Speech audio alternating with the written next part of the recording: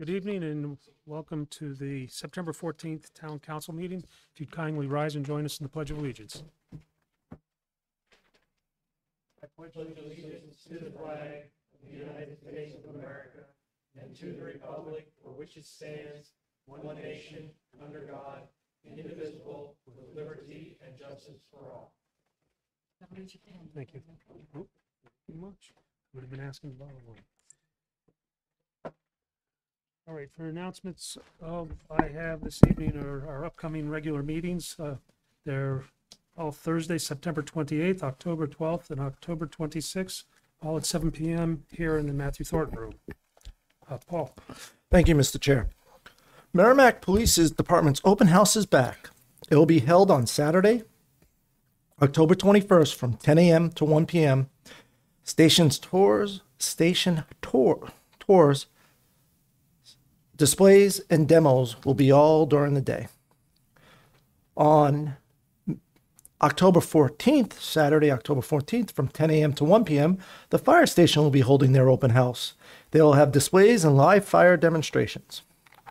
Unfortunately, due to the hurricane that is coming up the East Coast, the Merrimack Fire and Police Bases and Bags 2023 softball game that was scheduled for Saturday, September 16th, has been postponed. No date has been confirmed for another game as of today. On October 6th, October 6th is the last day to register voters to change their party affiliations prior to the presidential primary election. Undeclared voters may declare a party at the polls and vote on the primary day. The date of the primary has not yet been set. To check your party affiliations, please visit the New Hampshire Secretary of State's website at http colon forward slash forward slash app.sos.nh.gov. Also, there's a link on the Town of Merrimack's website. Party changes may be completed at town clerk's office during business hours. The supervisors of the checklist will hold a public session to accept new voters and party changes on October 6th at Town Hall from 7 p.m. to 7:30 p.m. The next household waste collection is Saturday, October 7th from 8 a.m. to 12 p.m. at 25 Crown Street in Nashua. For the cost of $15 per vehicle, Merrimack residents can bring their household hazardous waste. This fee covers up to 10 gallons or 20 pounds of waste. There is an additional charge of $1 per gallon above 10 gallons and 50 cents per pound above 20 pounds. Fees are payable by cash and check only. And finally, Merrimack TAV app is here. Download the Merrimack TV app on your app, from your app store on your phone, your iPhone, your iPad, or Android, Android device. Merrimack TV is also available on Roku, Apple TV, and Amazon Fire TV devices. Merrimack TV app streams all four of our cable channels 24 7 and has hundreds of searchable on demand content too. And it's real easy. Nicholas sat there with me and watched me download the app to make sure that I have it on my phone. It took about two minutes because of my phone, but uh, it's there. And we were able and we, we were able to search and, and everything else. So it was great. And then the last thing I want to do say is the hazardous waste collection. I went over to um, Pelham a couple weeks ago. It is very easy. So if you do have your paints, as long as they're not latex, stains, oils, gasolines, they take it all. You don't even have to get out of your car. These guys come up to your car, take the stuff right out, and you're on your way. I was there for like three minutes. So it's very easy and convenient. So if you do have uh, the list of items from our waste uh, transfer station, they have a list of what is um, accepted at these recycling days. I would uh, strongly recommend you go. thank you, Paul. All right. um, Comments from the press and public, if you'd like to address the council about upcoming agenda items, you could do so at this table or at the microphone over here. And seeing no one, we'll move on. Uh, Recognitions, resignations, and retirements. We have a couple of um, rec- uh, recognition and a retirement this evening, and um, uh, the uh, council is going to present a recognition award to Community Development Director Tim Thompson in recognition of his resignation from the Merrimack Community De- Development Department after more than 12 years of full time service to the town of Merrimack. Paul.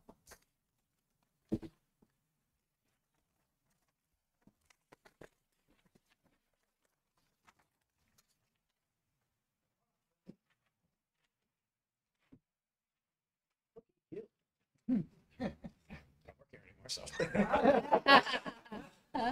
Golf shirt it is. Is that the proper attire for Concord? You can go to, sh- no, okay, just check, just check. Thank you. Yes. Did you want to say something? Um, sure, sure. So, uh, Tim came to the town of Merrimack, um, and he kind of got thrown right in the fire because we were in the process of building some outlet malls. And that was Tim's first, uh, forte in the town of Merrimack. Uh, helped us, um, bring the ship through the narrow passageways and get us out on the other end of, of the outlet malls. And since then, Tim had redeveloped, um, the old Shaw's Plaza to what we call now is 360. He was part of that, brought uh, forward some stuff for the council so that businesses would want to come back to Merrimack. Also had uh, worked diligently with the planning board and zoning boards in the town of Merrimack to kind of make it a little more friendly to come in front of them and, and uh, um, work through some of the difficulties that we had with those boards at that time. And then the biggest thing that Tim did was he was our writer for all our correspondence to the state of New Hampshire during our PFOA days. So we would go downstairs and say, Tim, could you write this for us, please? This is what we want to say. And Tim would write something up and Eileen would sign it and send it up to the state. So, uh, no, Tim did a great job with us and, uh, he'll be sorely missed over the next, uh, years. And we wish you the best in Concord. I know that, uh, Tim's going back home to Concord, um, to deal, uh, to be Assistant Community Su- Development Director in his hometown of Concord, New Hampshire. And, uh, um, their, our loss is their gain. So best of luck to you in the future. And enjoy watching your son run cross country this year and in the future. Sure. I, uh, uh, Tim came in around the time we were, the- council was desirous to have uh, our different departments be more like they're in a business, a profit-making business. Can't go anywhere else, but so we wanted them to feel like they were treated properly and, and he was at the beginning of those days where re- the focus really became strong. But um, the plaque is on its way, but in the meantime, I'm going to read to you what that plaque will say. When you do get it, we'll get it up to you somehow. um, I'm sure. Come back down another time. Yeah, there we go. So it's uh, presented to Timothy Thompson in recognition of the loyal and dedicated full-time service which you have contributed for more than 12 years to the town of Merrimack as Director of the Community Development Department. Your dedication and devotion to duty has been a tremendous asset to the town of Merrimack, and we wish to extend to you our sincere appreciation for your outstanding performance of duty. October, August 2nd, 2011 to September 8th, 2023, presented by the Merrimack Town Council and the Town Manager. Thank you.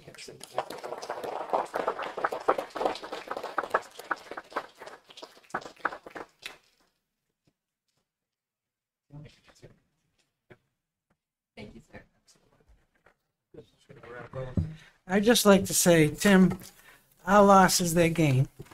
Um, I want to thank you from the citizens of Merrimack for all the things that you've done for us over those 12 years. And I'm also happy for you because that's really where you want to be instead of a what, 45 minute drive, it's 10 minutes. Everyone can understand that. And thank you for your wife for getting, letting him come back tonight. Know, she gave permission. So good luck to you. I really mean that, the best.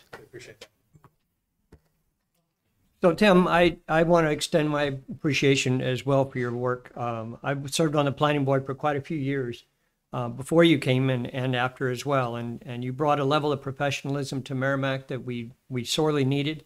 Uh, you, you did a lot of work on things like the master plan and on uh, fixing our uh, planning and zoning and whatnot uh, documents and getting them cleaned up and just putting the planning board on a on a straighter keel as far as the the dotting the i's and crossing the t's. And so you've done a lot of work for Merrimack, and we really appreciate that, and we will miss you sincerely for the efforts that you put forward for us. So thank you very much for that. Thank you.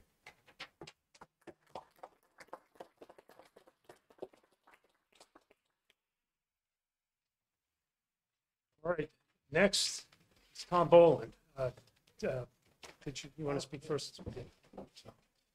So, as you can see, I have a new gentleman sitting behind me, Adam Britton. He's the new finance director. Where are you, Tom? Where are you?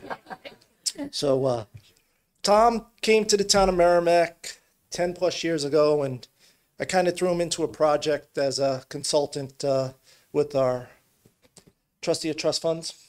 There was uh, some issues, so I said, "Oh, Tom, it's only going to take about forty hours. Why don't you come work? Take a couple days, do it. We'll be good." Three weeks later, he comes to me and says, uh, "I'm still not halfway through it."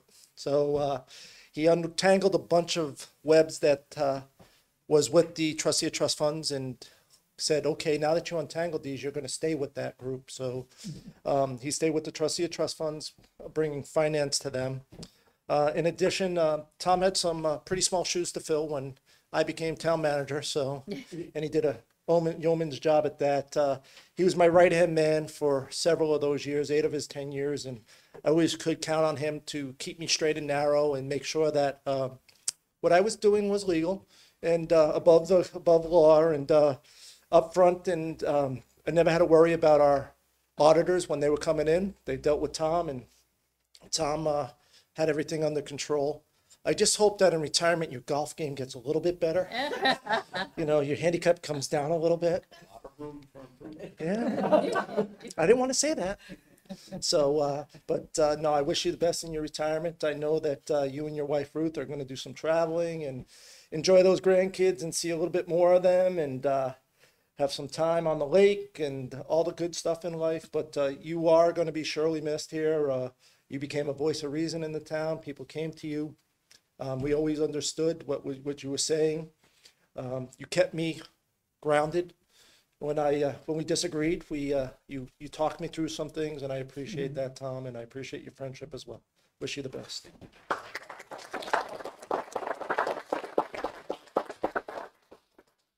And you as well. Have your plaque coming forward soon, but so,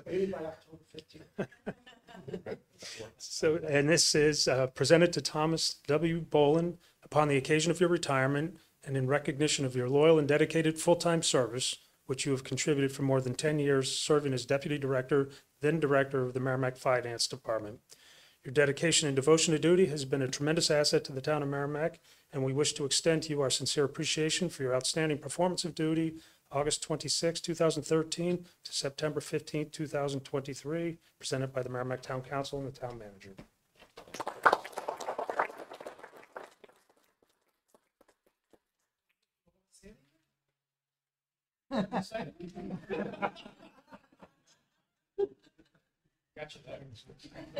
I wonder why you Oops, sorry about that finger. The only one thing I, unlike Tim, see, Tim's not retiring. He's just going to a different job. Tom, you are retiring. That's a whole different ballgame.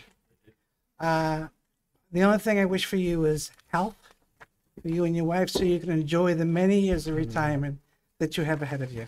Take care of yourself. All right.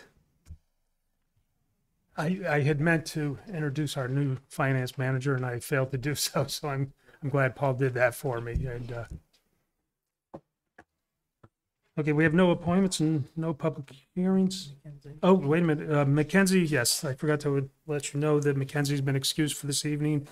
And, um, I, we're moving item number three under new business, low power FM discussion. We're gonna move that forward without objection. And, um, and that's the media service coordinator, Nicholas Lavalley, is seeking the town council approval to apply for a transfer of low power FM frequency from another community.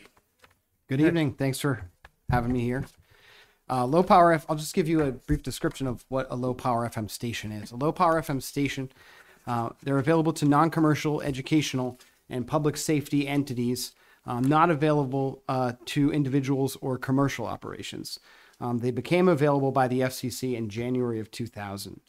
Um, neighboring communities like Manchester and Bedford, in particular, have been operating their FM radio stations for years through their community media divisions, expressly with public safety in mind. Uh, both stations fill 168 hours of programming uh, with music, community minded shows, and meeting coverage, live sports, and other events. Um, the media division, Merrimack's media division, has listed low power FM on our CIP for several years since 2011, but each year it's taken a lower priority due to the unavailability to apply for a frequency from the FCC, which is the first step in the process. Um, the FCC has essentially made these um, this application window available once every 10ish years and they kind of do it with not much notice or fanfare suddenly the application window exists and you have a limited time to apply so it's never really fallen within um, the right time or space with our budgeting process um, there's no cost to apply for a transfer or a lo- relocation of a low power fm frequency um, the potential to bring low power FM to Merrimack actually arrived this summer. Um, so at the beginning of this budget cycle. Uh, in June, the FCC announced uh, its filing period to apply for a frequency would be open the first week of November.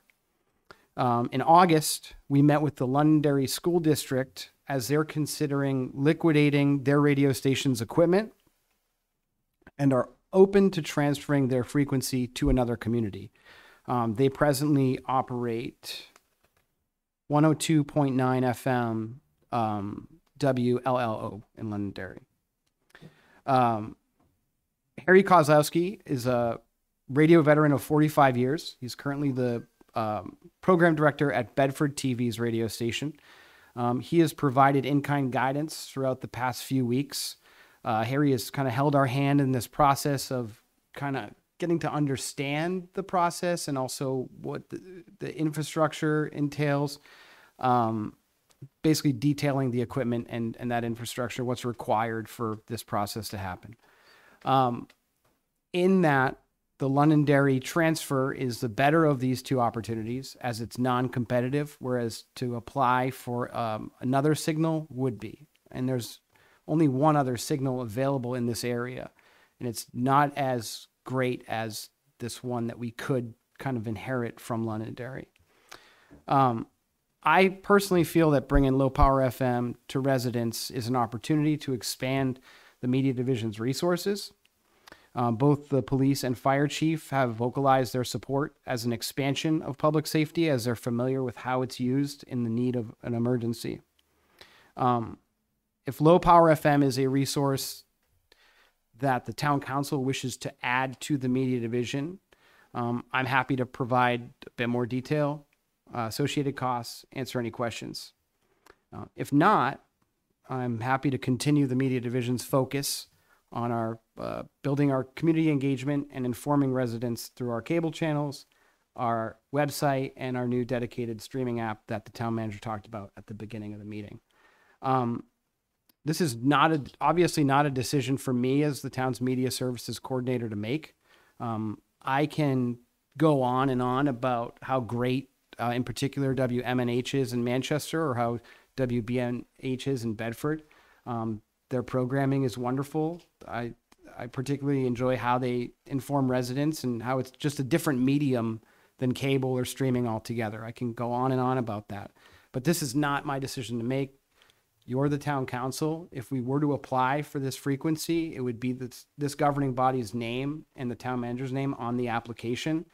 Um, this also would be an impact on my division and our staff. We're three full-time employees with some on-call hours from part-time employees. Um, but I would be remiss not to bring this opportunity forward to the town council, um, as it's been on our radar, no pun intended, for uh, you know over ten years, um, and I'm kind of putting the I'm putting the ball in your court. So I'd be happy to answer any other questions. So when Nick brought this to me about a month, month and a half ago, I told him go to do some more homework, do some more research. Um, we were just in the infantile stages of working with Londonderry and seeing what they had. Um, this Londonderry opportunity is a great opportunity because they cannot sell the license. It has to be transferred. So you cannot sell an FCC license to another organization. You have to transfer it. So we'd be picking up this license for zero cost of that. However, there would be some cost to buy some equipment. Londonderry has some equipment that they'd be willing to sell at, I won't say bargain basement prices, but a lot less than if we were to start this from scratch. The other thing that we talked about is infrastructure. What do we need? We have a tower right here sitting at Town Hall. All we'd have to do is put an antenna on it. We have other locations in town that have police radio towers, and uh, MVD has the wells where if we had to, we could put towers on there to boost our signal strength. In, in particular, that the MVD tower, excuse me, the there is a, uh vacant police tower at an MVD site that I visited today with Ron Miner from the MVD, um, and and took a look at it and uh, spoke to Harry, and that tower would be um, provided it, or it can be power moved to and a couple other things, but the tower itself could be used for this. could be used. So there's no infrastructure of building new towers, is the point there. Um, the final piece that was for me was using this for public safety if something happens. To go out and say the warming center is here, the cooling center is here. For flood information, go there. Um, in case we need it, it's just another avenue for us to go out there because if people's cell phones are dying or if people's TVs are out or the power is out, they would have call me old school, but I remember my father every time we used to get a snowstorm, fill the bathtub and get to make sure the batteries in the radio work. People have radios. They could tune into our frequency and figure find out where safety is or what's happening uh, for information. Um, the other thing is is that it brings the council to another platform. You'll be on radio now too. we got hair and makeup that will have radio personalities. No, It was all But- going good. but but but no, it just puts it out there in, in another form of people for people to use. Um, and really, the big the big selling factor. And then we did have a meeting today, and both the police and fire chief both spoke up and said, for emergency purposes, we're 100% behind this. This is a great idea to have it. I know it's something that Nick has had on his thing. The other thing is you need three license agreements to run the a radio station. We already pay for two. So the mm-hmm. third one is like two hundred dollars more a year. So it's not a big cost or a big ass to do that. And finally, the last piece was I said, Nick, if you're going to do this, you're going to have to absorb it in your budget. And Nick's like, Paul, I already have the equipment budgeted for, and the recurring recurring costs are between two two thousand around two thousand dollars, and I can absorb that in my budget. So it's there. Uh, the cost of the equipment is less than ten thousand dollars to get fully outfitted, at least to start with an antenna. to start and- to start, start with, with. Um, to start with coverage that's essentially uh, Merrimack's defined town center, um, and then what I would be proposing next year is uh, is in our submitted CIP um, to expand that coverage um, to townwide, which would be next year. but it, it all all the chips are lining up. And uh, when nick came back to me after this one it's there. So he's here to answer any questions because i know when you talk about low power fm people are like what does that mean he's here to answer all those questions Andy, You mentioned staffing. Mm-hmm. What's the impact of staffing? there's three full-time employees in the media division now, um, including myself, and then we have um, part-time on-call hours as well. Um, I think the media division stands to grow no matter what, whether it's the amount of meetings that we're covering or specifically the more original content we produce. We've just evolved quite a bit over the past couple years. I don't necessarily expect to come before the council and ask to hire a new part-time employee anytime in the in the near future. Um, but I do recognize that we seem to be kind of a, a, an evolving um, department as well. Um, there are at Bedford there are three full-time employees, a number of part-time on-call employees, and there is a part-time radio programmer. Um, that came along shortly after their radio station was constructed and and in there. So this would impact staff. Um, would I expect to come before the council as soon as next year and ask for additional staffing? I don't think so. I think we'd have to see what the demand with the radio station is. I think to get the program up and running, um, you know, I don't think it would. I think it would impact staff. There would be more work to do. I also think that, but I also think that because it's we're community TV and because we're already creating content, um, a number of this content could translate to radio. Not all of it, but some. We certainly would have our live varsity games simulcast on cable as we would on radio. Bedford does that. Manchester has done it in the past.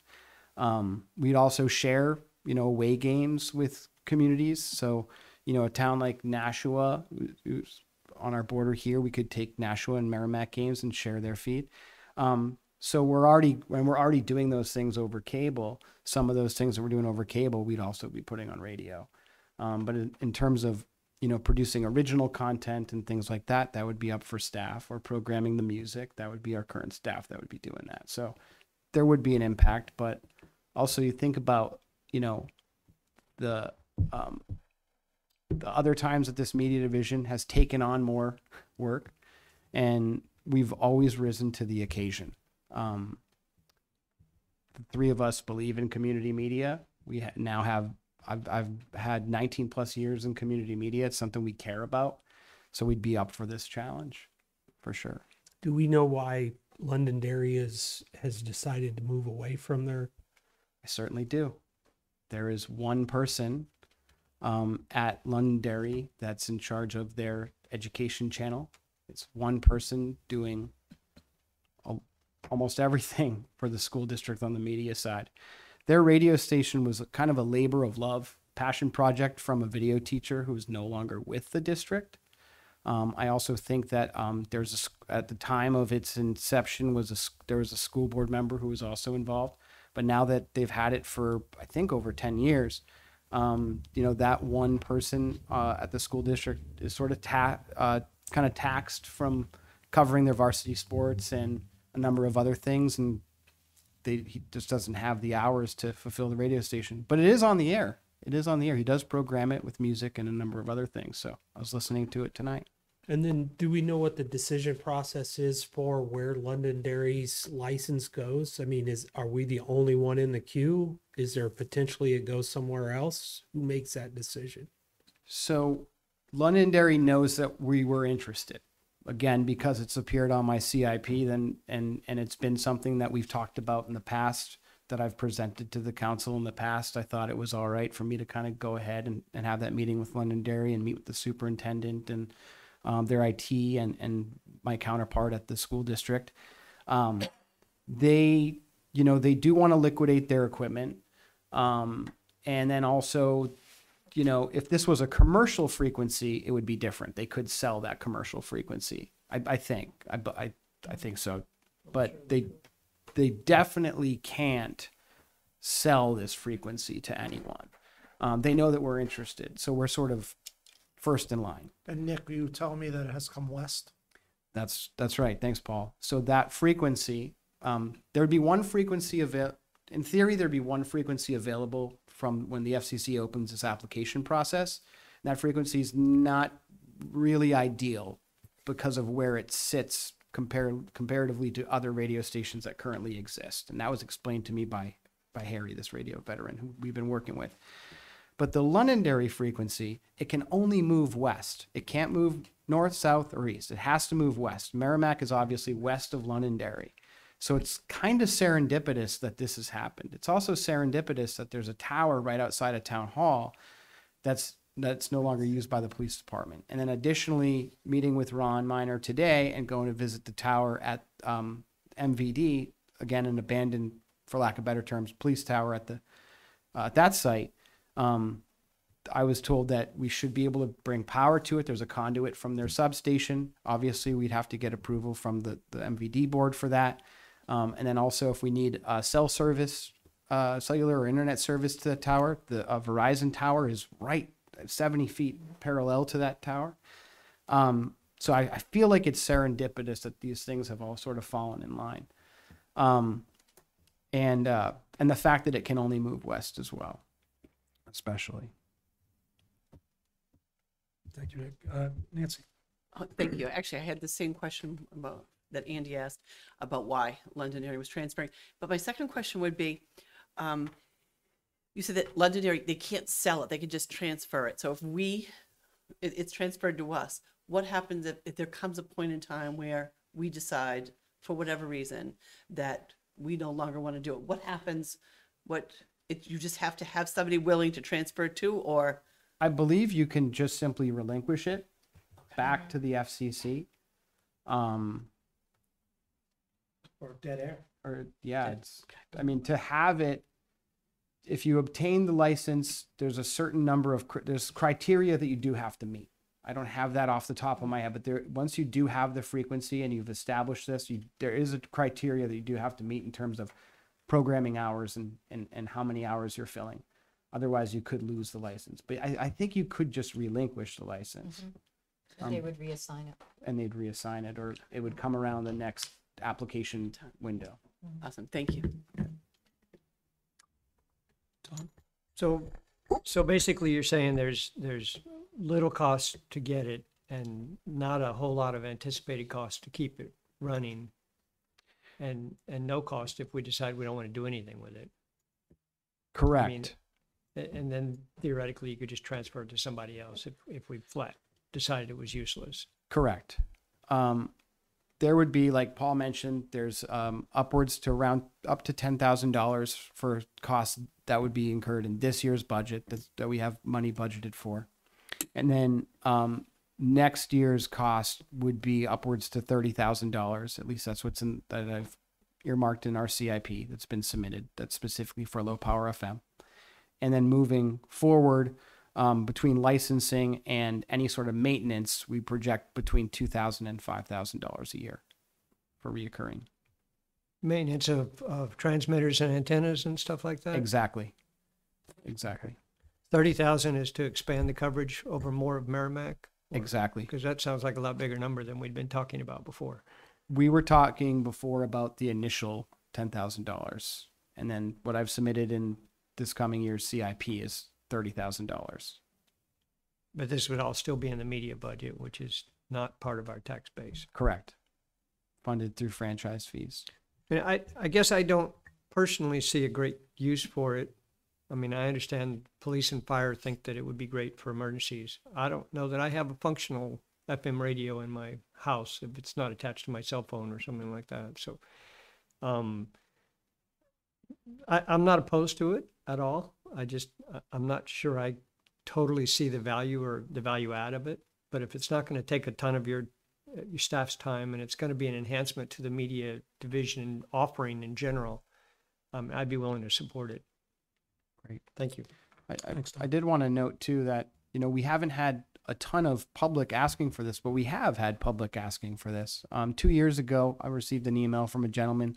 He lives in town, and he mentioned he was interested in low power FM, and sent him a message back and talked about how much I love Manchester's low power FM, and and then um, you know as this was kind of happening or uh, at the beginning of the summer, we kind of got wind of it, or there was rumblings that they may open the window in the fall, and gentleman introduced himself to me at one of the concerts that we were covering, the spring concert at the high school, and he was all excited and said, "I, I heard the, that the FCC may be opening that window," and, and he was the gentleman who who reached out to me a couple years ago, and, and he's kind of just kept up with Merrimack TV and all the enhancements we've made over the past couple years. So, um, like like Tom just said, I, I do see it as an enhancement.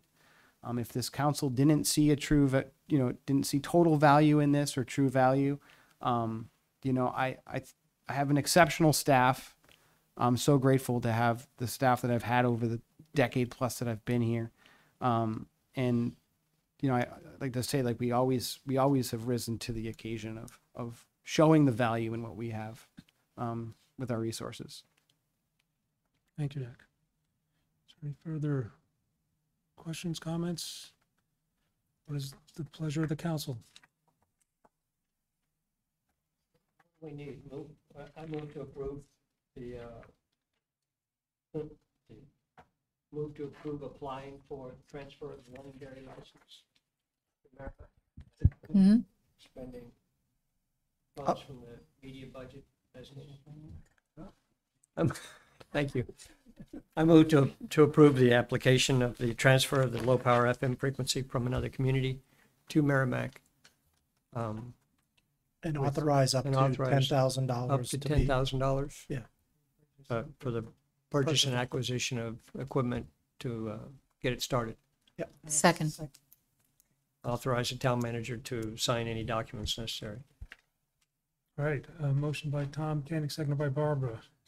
Any further discussion on your motion? Just a comment. I think I'm sort of six one half dozen another, but I really do think I want to err on the side of providing an avenue in case the, the town needs it for a crisis. And hopefully we'll never have to use it, but knowing, that, and I think if we do this, we really have to advertise it and make it well known for it to be useful. I mean, if I'm saying I want to be able to have it for safety purposes, and that's my rationale for wanting to approve it, then I think we need an obligation along with that uh, to make sure that the citizens of the town know that's there for that reason, so that they know if something happens, at least there's a resource beyond the self. And you're right, whether they have a radio or not, but that's a whole A different battery issue. powered one. I, I'd urge um, the council to visit uh, WBNH Bedford Radio's uh, social media presence or their website, or listen at 105.1 FM. Wanna find Um, their tag is public safety radio. And obviously, if you turn it on, you're not just listening to uh, emergency announcements, but you're listening to great music. There you go. You're listening. You're listening to great music, 24 seven. You're listening to varsity sports coverage. You're listening to other community-oriented programming, um, and that way you know it's there. Can you define great music? I mean, we should. We should. I'll tell you. I will. I know the answer to that. I I, I know the answer to that, and it's safe. Great music is the music that you don't hear while the Tomahawks are warming up on Friday nights. maybe we could say like Tuesday is country, Wednesday is rock, So if anyone's been to the football games, and some of that music, I, I do like plenty of it, to be honest with you, but great music is, is not that music. So. Is it, is great music what you run when the, with the scroll on our community TV channels? Oh, yeah, no. That's No. Muzak. That's different. Right, But, that's when- free. but when you ha- that's free Maybe music. we should start with that. But when you have um, when you have an ASCAP, BMI license, SESAC license, when you have these licensed through uh, uh, you know from a music publishing, you you're you're more or less limitless, um, and the cost isn't isn't much. So Very good. So we'll have some debates about what defines good music. absolutely. Barbara, Submit your you have to define Yeah, you your know, own I show then if you're going to do that. The Nancy Yeah, Harrington the radio Nancy- show. My next life.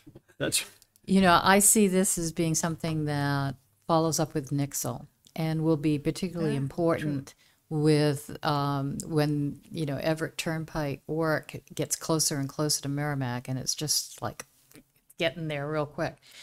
Um, because the Nixle only gives you so much information. And this way, you know, people can if you still know how to reprogram your FM radio, you can have it saved and just instead of trying to read your phone to see what the Nixle is coming through, you just, you know, pop it over to the radio station and get the details.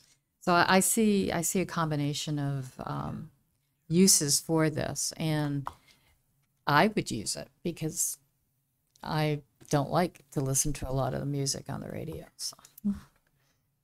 just the good stuff. All right. Very good. There's no further discussion? Okay, I'll like to call the question on the motion. All those in favor signify by saying aye. Aye. Opposed or abstained? Um, six zero zero. Thanks, Nicholas. Thank And you. I did download your app, by the way. It's good. Great, and yeah, I would like to urge those watching at home download Merrimack TV. It's across everywhere, and I'm so happy that we can just say now download Merrimack TV. It's on every device. So Perfect. thank you so much. Thank you again. Thank you, Nick. Um, Mr. Lee, uh, it had been suggested to me that maybe you wanted to speak on one of our future agenda items. If you're just here to hear it, then I'm sorry to have bothered you. But if you wanted to speak, I was gonna, we don't have that opportunity during the agenda item. It's been a Okay. Public hearing. Here in case, Oh. to hear what's going on. Wonderful. Okay, thank you. Sorry to bother you. All right, next on the agenda, uh, with res- legislative updates. Uh, Did Nancy? Sure, thank you. Um, I just think short sort of update. Uh, this week is the week that um, those of us in the House file um, legislative service requests for any potential bills that we would like to to um, to sponsor this year. Um, tomorrow at four o'clock is the deadline. Um, I know, I just looked, actually, there was hundred and twenty yesterday and there's three hundred and thirty-six right now. Um, I, I put three in before, but I think I have four more that are going in tomorrow. Um, just quick update. Two of the, uh, the bills that I, I've submitted are commission bills. One is the, uh, our PFAS, our state's PFAS commission. The timing will be up. And clearly with all of the things happening, um, in New Hampshire, but especially in our southern New Hampshire, uh, community, that, um, there's a lot of work to do. And I know DES is in support that we certainly need to, to re-up. So I, um, I wrote a bill that will re- reestablish the PFAS Commission. Um, also wrote a bill and submitted it that will reestablish the Commission on Environmentally Triggered Chronic Illness, which is, runs very parallel to a lot of our work in the PFAS Commission. It really just follows the, um, the public health impacts of all kinds of environmental um, uh, triggers and contaminants in this in the state. And the other one that I that I um, submitted really is relative to the PFAS remediation loan fund. Um, I think back to the days when PFAS we were just learning about it, and we needed money for testing, and we needed there was no money um, to um, available, so we used um, at the time there was that the MBTE um, uh, fund, and there was testing for that, at- and they tested for PFAS at the same time, so we were able to use that fund, those funds. Um, but um, one of the the bill that I've written will basically require that if we have any um, uh, the proceeds, fi- final proceeds from lawsuits and settlements will go into not the general fund because then they can disappear, but they will be specific to PFAS remediation and, and stuff. So I'm working with a couple of attorneys up around that. It's not, I mean, the bill is in, but it, there will be amendments. Uh, I just thought it was important to um, keep the money where we know we're going to need it because not only here, but as we've seen from the last testing by DES, wells all over the state are testing, um, you know, above MCL. So um, that's it, and I'll update um, at, at our next meeting about the other the additional bills. So thank you.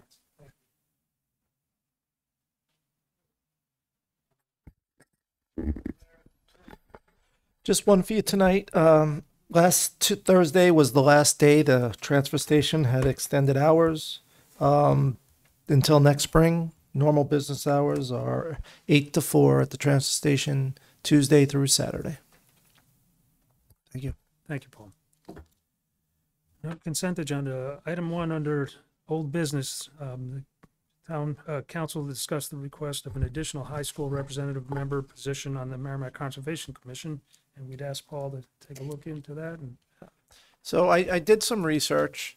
Um, basically, the Conservation Commission was established March 3rd, 1967 by town meeting pursuant to RSA 36-A and then reaffirmed when uh, the charter was approved in 2007. Um, by doing that, the charter article read Conservation Commission, there shall have there shall be a Conservation Commission consisting of seven members. Six of these members to be appointed by town council for terms of three years, such terms staggered. One town council member shall be appointed annually to serve as an ex officio. Uh, there shall also be three alternate members appointed for the same manner of regularly appointed members, except no more than one alternate appointed to the term shall expire in a single year. The town council shall fill vacancies for the period of an unexpired term. The Conservation Commission shall have all the powers granted to the Conservation Commission by New Hampshire state law. Um, and then doing some more research, 36A colon 3 reads, by state law, the Con, Con, Con Commission membership is capped at seven members. That's by state law. You can't go to eight, can't go to 10. It's seven members across the board. So looking at that, I went back to the Conservation Commission. I gave them two options. I said, option number one is um, you call the high school position a student representative instead of a member. This way, the Conservation Commission could continue to have seven voting members plus a student rep. The language would read seven members. Six of these members shall be appointed by town council for terms of three years, and it goes on to follow it.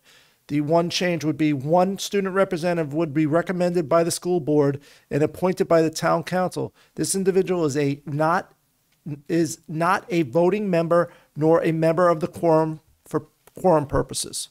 which that does is that he's just a representative. It's kind of like what the school board does with their member. Um, uh, they have a, a student rep. That would be the similar. Uh, or option two was to make this uh, an official voting member.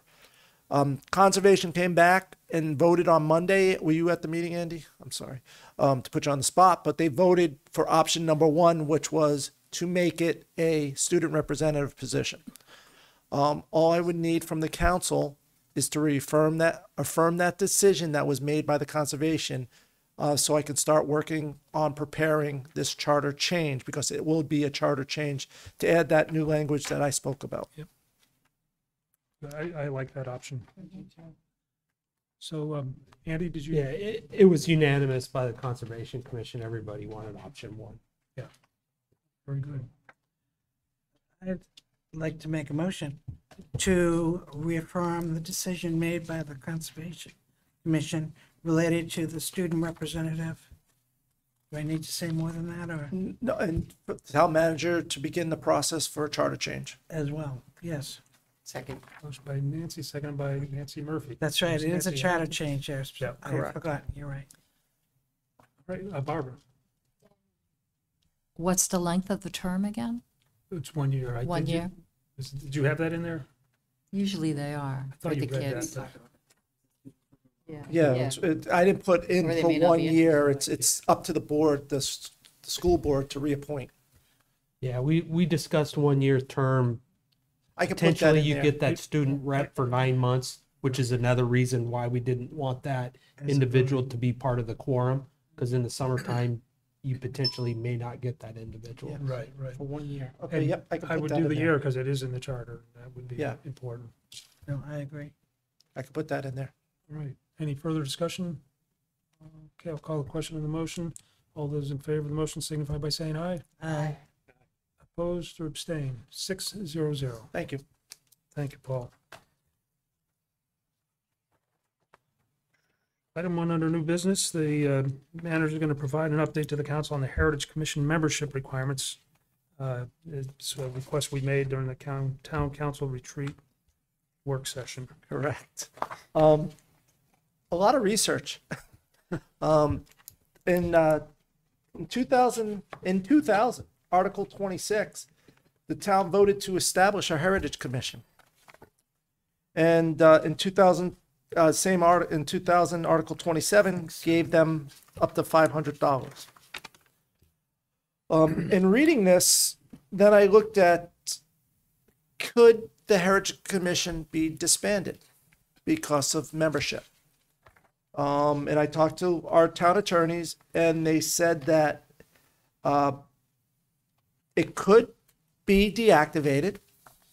However, it's in the charter. So once again, we'd have to do a charter change if, if that's the way we wanted to go.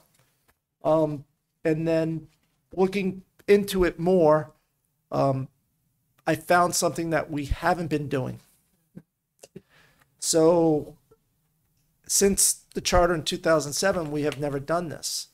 Uh, the charter basically says that the town council appoints three members, full term, one ex officio from town council, one ex officio from the planning board. We have never asked the planning board for a member. Ever. So, Yeah, oops. well, Yeah, we're all looking at Tom. Oops. So in doing research, we we figure that we have two members already appointed that have their terms. We have our town council representative, ex officio. We'd have to ask the planning board for theirs. They would have a quorum for their meetings. We also have a citizen who did come forward. He's just checking if the meetings could be changed because of his schedule. Because he has commitments on Monday nights. Um, and, but he, he's willing to do it, to be part of this commission, committee. So, looking at all this stuff, what we really don't have for this committee is alternates. So we'd have to get alternates, um, interested in, in the heritage and bring alternates in.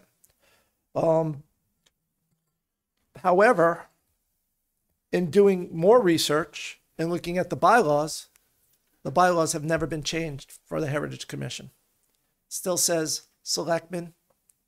It doesn't talk about the change in membership. So we'd have to update the bylaws as well to make the bylaws current. So I am here tonight to see if the town council wants to continue with the Heritage Commission. And if they do, we will ask the planning board at their next meeting to recommend an ex officio member for the Heritage Commission. We'll work on changing the language in the bylaws to change anything that says selectmen to town council to needs to say five members needs to read three members and then one board uh, town councilor and one planning board member. We'd have to change that in the bylaws as well um, and then put in our, the rsa which is the requirements because heritage also is rsa 673 colon 4 small a rsa 673 colon 5 talks about membership with heritage commissions as well mm-hmm. so we, we need to make those changes. So the first question is, is the council in favor of continuing the Heritage Commission or disbanding it? That's a loaded question, I know. So have you spoken with the co-chairs for Heritage regarding this question? The co-chairs are trying to get meetings, but they can't because they can, they can't get a quorum together because of not having enough membership. Oh, I know. But with having the two ex officio members, one planning board, one town councilor, it'd make it easier to get the quorum because then you'd only need three fifths. With, instead of trying to get three out of three, you have two plus two right now. Does that make sense? hmm Oh, absolutely. Um, because I, being on both planning board and heritage, I've been kind of fulfilling that role because that whole thing about the graveyards that you know about, um, you know, I, I was able to work with both units or, or both teams to say, you know, how can we make sure that this particular issue doesn't slip through the cracks? Um, so I think it's a good idea. I would just leave it, so the planning board would need to appoint, correct? Correct. And not double dip like with you. Well, it would add a, a di- an, Correct. an additional voice Correct. in addition to mine Well, Right. on both I- boards. I, I, that's what I want to, Yeah, it can't be me. that's what I want to clarify because you are a member of the town council. Right. And also the planning board. Right. So they could say, well, you could cover both of them. Yeah, no, But that that doesn't defeats the help. purpose. The premise. No, Yeah. and if that was the case, if Barbara, because she's ex officio to the planning board as a town council rep, if they said, well, we want to appoint you as our rep, then the town council could say, we need to appoint somebody else mm, at that point. But it'd be best if a planning board member, and it can be an alternate too. It doesn't have to be a Right. full-term member. It could be an alternate on the planning board as the appointed That's a good point. member to, to the board. And we will make those points when we, if, it sounds to me like you do not want to disband. So we will make those points when we move forward I'd and like- ask for a I'd like to person. try and save it. I'd like to try. I don't know if it's, it would work though. What do you guys think? I think we can, honestly, I think give, give me some time. Let me go to the senior center. Let me go to the senior meeting on Monday. I'll ask if I can take five minutes up.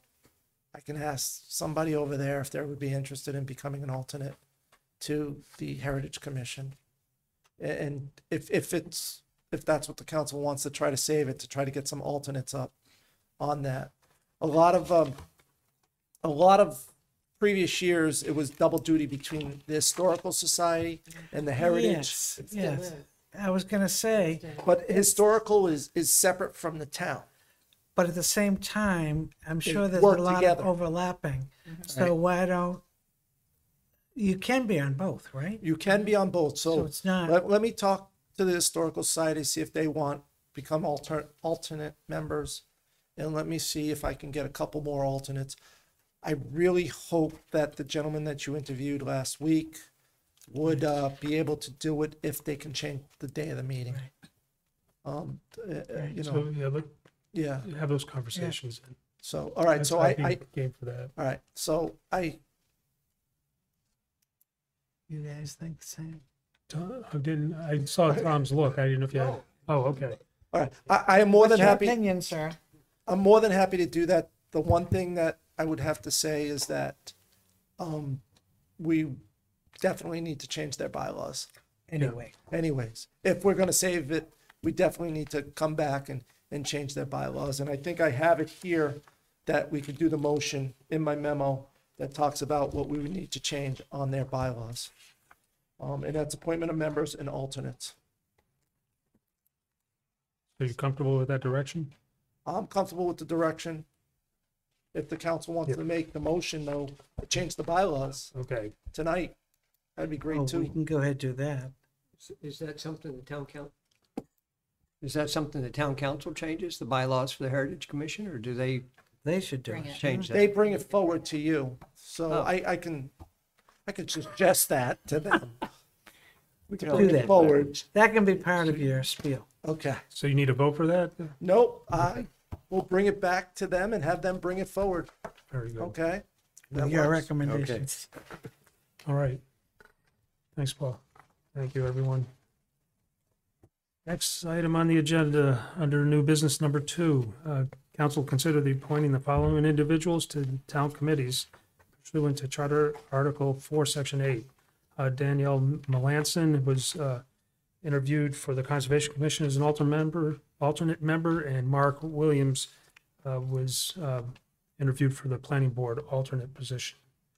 And, uh, we did that this past month. I can't remember what day it was. It Last week. Thursday? Yeah. Yes, it was How just last quickly week. we forget. Oh, gosh. Uh, That's not a good sign. So, uh, um, it was, uh, two new individuals, so we're very happy about that. And, um, uh, Danielle, uh, wasn't able to be interviewed. We did our first Zoom interview. I think it was a first at That's the right. moment. And, Yeah, um, yeah. and she's pretty happy. So she isn't here this evening, but Mark is, and um, so uh, if I don't know if um, somebody would have any further discussion or questions. Well, it Looks like you guys all recommended. Yeah. Yes. So um, Do you want to do it together? We do them together. Okay. I'd like to make a motion to appoint Danielle Melanson as an alternate member to the Conservation Commission and Mark Williams as an alternate member to the Planning Board. Second. Any- And it's clear, I mean, yes, the recommendations, and they were both great. if there's no further discussion, call the question. All those in favor of the motion signify by saying aye. Aye. Opposed or abstained? Uh, six zero zero. And um, so Yep. yes. Oh, gosh. And Mark, if you can join me right over here. He needs to swear at you. I mean, swear you. in.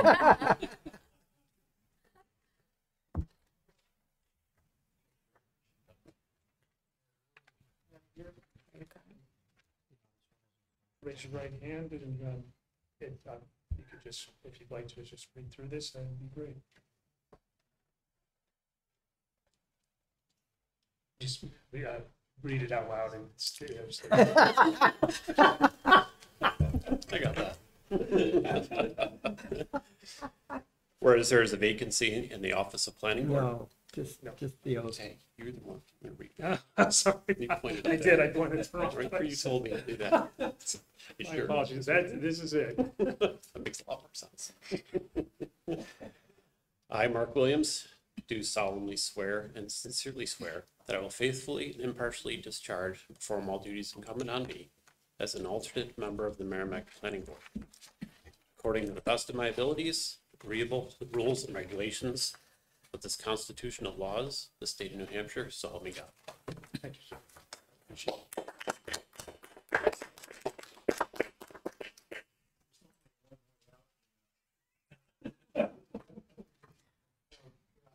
Yes, You followed orders though, I guess.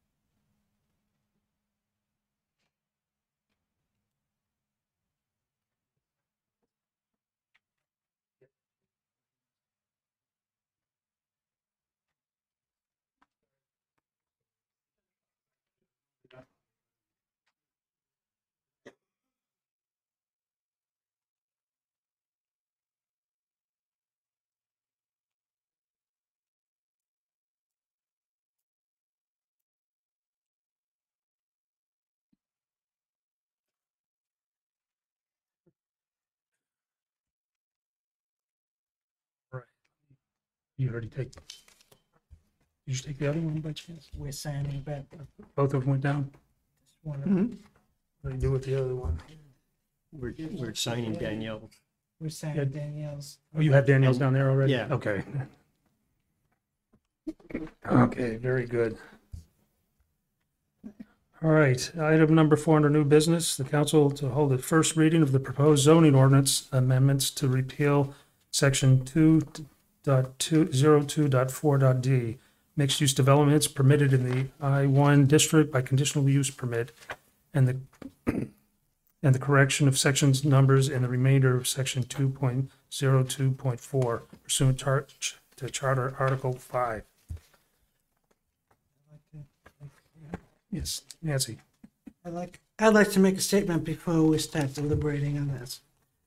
Because of my past expressed concerns about the development of the premium outlet lower parcel, it has been implied that I cannot be impartial about consideration of this ordinance.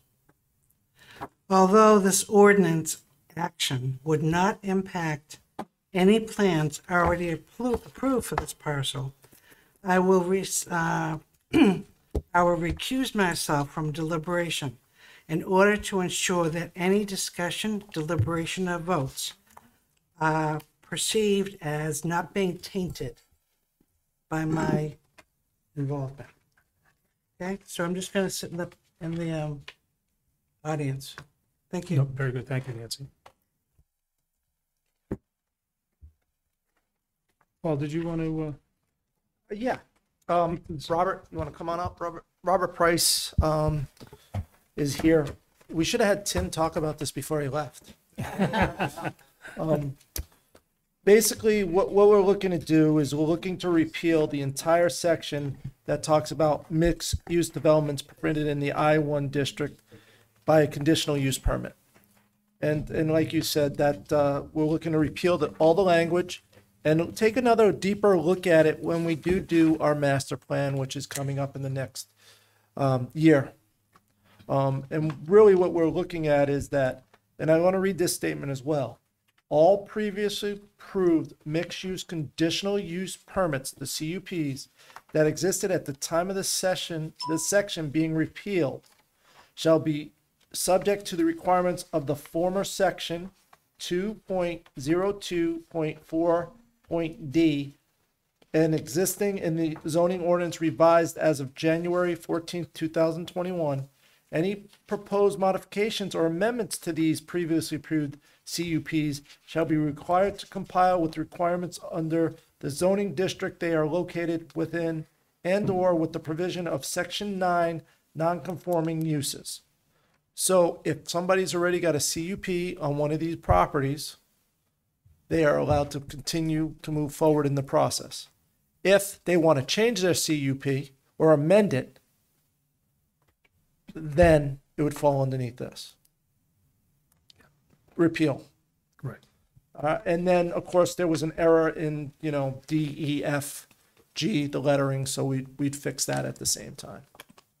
Um, but that's, that's in a nutshell. It went, uh, the town council voted on this, approved it to go to the planning board for their public hearing and notification. They did review it and, uh, they, uh, they voted not to recommend this to the town council. A five zero zero vote not to recommend the town council to repeal. Because they wanted to have input into what the wording would be uh, moving forward. Yeah. And didn't have that opportunity, so they were opposed to it. They it. were opposed to it. However, by repealing it, if the council wants to move forward, the motion would be to move this section to a public hearing. Right, yeah, I, um, I, I felt the way the CUP process was going wasn't necessarily what was in the best interest of the community, which is why I'm in support of, uh, moving this on to allow the, uh, the master plan committee, when it's put together to take, to look into this. I think there's better opportunities, uh, available to the town and, and that's, that's where I am on the position of it. Uh, Barbara, I didn't know if you had anything, uh, I didn't. Um, I just want to clarify that because this is an action of the town council, uh, and after consultation with legal, I have been recusing myself from these discussions at the planning board. But I will add from this standpoint, um, just so that people wonder why, you know, what, what is behind this. I have received several emails, and I think others have as well, regarding um, some of the issues going on with the constant building in the town and the fact that no matter what gets approved, that doesn't seem to be what's being built. So it, this is also generated, this action is also generated by the citizens of Merrimack as well. So let me just add that I was on the planning board when this went into effect, and I heard many different CUP presentations. And as Barbara just alluded, none of them have come in the way they were presented, at least initially. And in fact, they didn't come in the way they were approved initially, and they're constantly being changed and modified.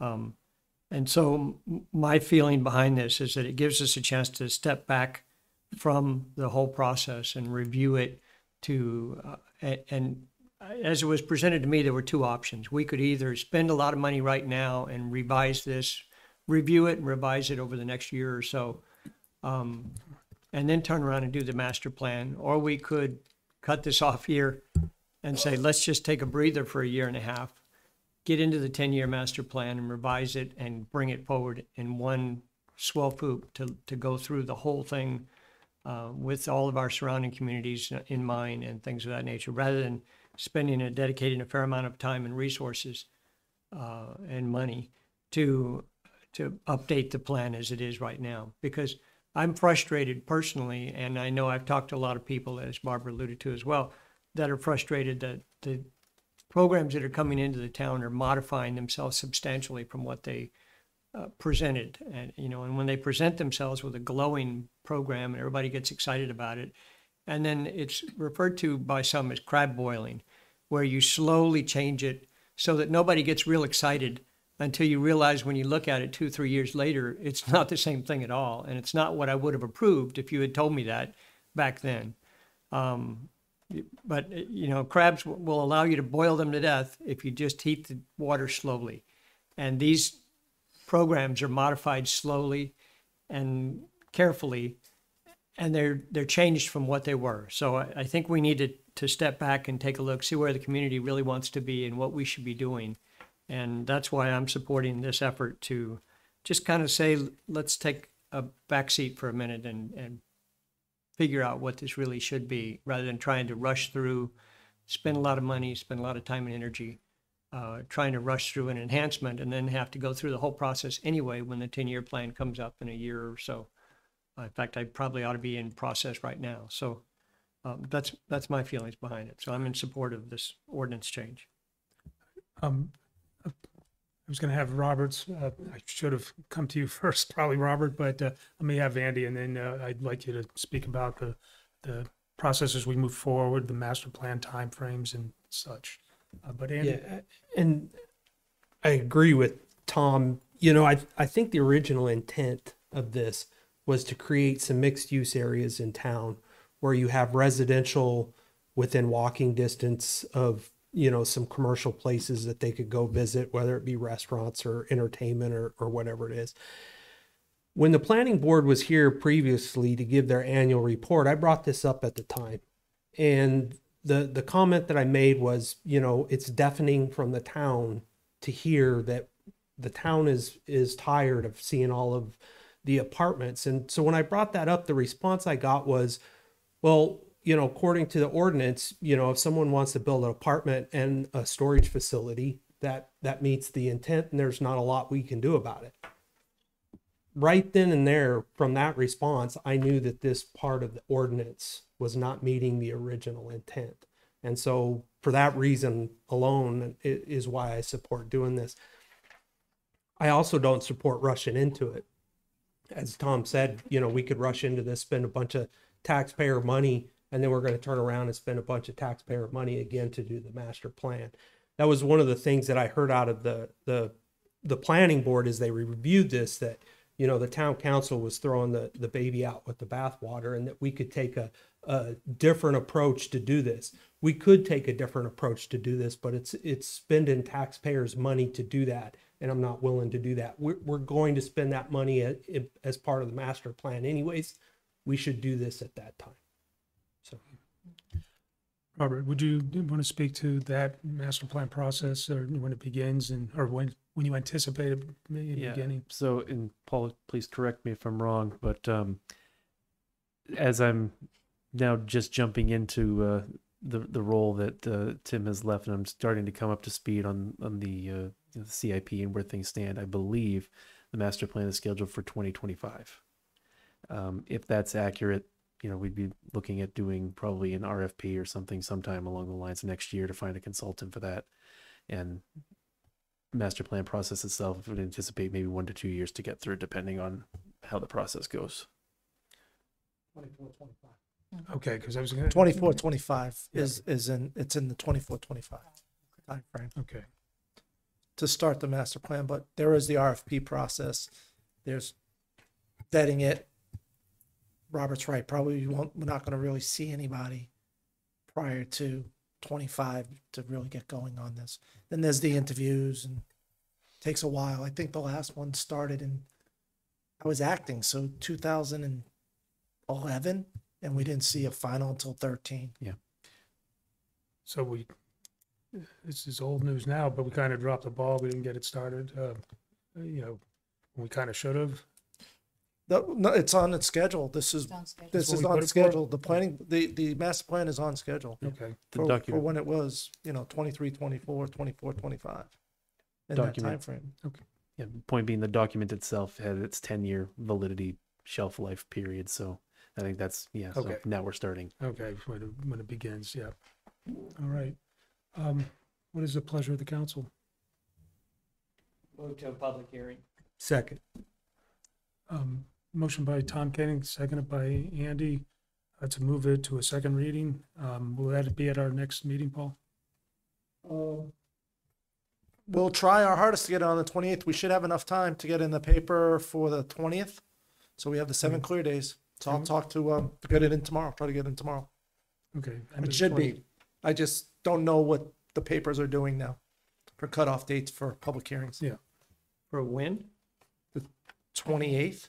Twenty, okay, twenty, I But I thought you have to- said twentieth. I have that be, it has to be in the paper by the 20th. Oh, okay. for my seven clear days, which means I have three, you know, basically probably tomorrow to get it in. So it can get in for Wednesday, but we'll get in the paper. We'll do what we can do to get it in. Thank you. There's time, yep. Okay. Any further discussion on the motion? Call the question. All those in favor signify by saying aye. Aye. Oppose or abstain?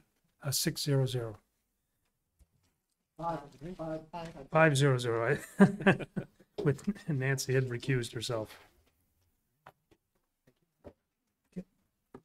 All right, um, Thanks, Robert.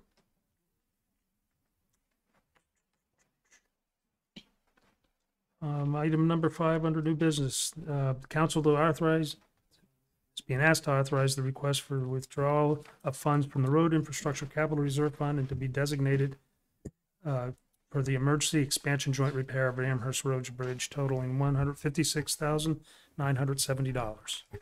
It's so nice that we have a deputy director that Dawn can say, Leo, you live in you live in town. Would you mind doing this for me? So Leo's here tonight. No, Dawn Dawn had an Dawn had an emergency. She had to attend to tonight, so she asked Leo to come in and, and speak on her behalf Well, she was uh, for this. So Leo is uh, Sorry about that. is fully versed in you know Well, the good news is I don't have a 42 slide presentation. Ah, So We we're just you going to look at like the um, photo of the expansion joint. Uh, last winter, a plow hit the expansion joint. You'll see that it's got two strips of metal that it goes across the road, and a plow just caught the edge of it and uh, damaged it. Uh, I believe Dawn had sent out drawings to the town council. Yep. Letter. Um, Th- This, uh, to simply explain what the expansion joint does, is it allows the bridge to expand with temperature differences and it seals the roadway. And so the expansion joint's still doing what it's supposed to do. It allows the bridge to expand and contract, but the seal is damaged now. And the important part of this is water is getting down between the expansion joint and right below this is where the bridge deck and the bridge beams land. So if this continues, uh, if we let this go, what'll happen is the bridge beams will start to corrode, the bridge deck will start to corrode. And unfortunately, the cost to fix the bridge will expand greatly. So. there is a membrane. I know people, oh, two pieces of metal, it's 150. There is a membrane that goes on top of the bridge deck that helps keep the bridge deck from corroding as well. Because when you put salt on cement, we all know it corrodes the cement. So there's a membrane, and what happens is the membrane comes up, you put these expansion joints on, and everything gets locked into place. What they'll be doing is they will be reconstructing part of that membrane on that deck, as well as replacing the whole expansion joint. It's supposed to take two to three weeks to complete this project. That's what Dawn at most. And we have already talked with Amherst and the police department and the fire department and the buses, the buses and the school to say that if this project gets approved, we're trying to do it before this plowing season. In the memo, it says four to five weeks. I don't know if that was a misstatement there or if It was truncated a little bit more. it was. So- We're trying to get these guys in and out, and then we're using a reputable person who does a lot of these bridge work, does a lot of bridge work. R.M. Piper is the guy. We went out to bid. He was the one who won the Is bid. the only one? Because I was, I- Well, we- quite we- frankly, we I went don't know the business, but I was shocked at hundred fifty-six Yeah, thousand it's, dollars. that, that was actually lower than what our consultant told us was gonna cost us. Really? Correct. Yeah. Yeah, so, and it's a fairly involved process, but what RM Piper is going to be doing is they're going to remove the expansion joint from where it is now, which is right at the abutment and bridge deck where those two meet, and they're going to bring it back into the abutment a little bit. That way, if the seal ever fails again, what'll happen is that water will just simply run off underneath the bridge. It won't have any effect to the bridge structure. Yeah. So Because our, It's br- actually improvement. it is. Yep.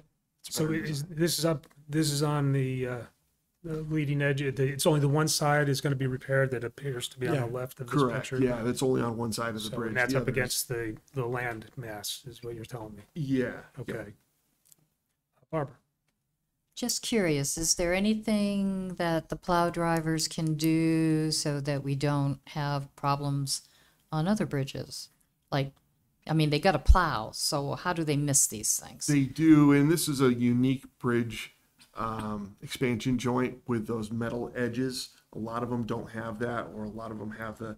They're flatter. Like a, a flatter or inset surface. So this was just a design failure that the, the this was a plow happened to hit it. Yeah, yeah. Okay. This is an older design. Actually, the bridge is an older bridge, but it's in very good condition otherwise. So that's the other reason why we really want to jump on it is because it's in great condition we don't want to have any deterioration. Right.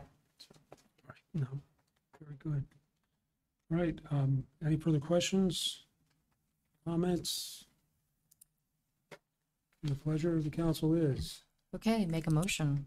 Barbara, Uh, I mo- I move to, for the town council to authorize the withdrawal of funds from the road infrastructure capital reserve fund and to be designated for the uh, emergency expansion joint repair totaling one hundred and fifty-six thousand nine hundred and seventy dollars and that the town manager be empowered to sign all appropriate documents. Next. motion by Barbara, seconded by Tom Koenig. You would make Bill proud. No, she didn't say and or. Wow, that- And, she did it correctly. Uh, did she have to mention the name of the bridge? Or is that, nec- or is that understood because of That's the agenda understood. item? It's Very understood. good. There's no further discussion? All the question, all those in favor of the motion signify by saying aye. Aye. Aye. Opposed or abstained? Six zero zero. Thank you so much. Appreciate it, Leo. She'll be happy. All right, uh, minutes, August seventeenth minutes, two thousand twenty-three.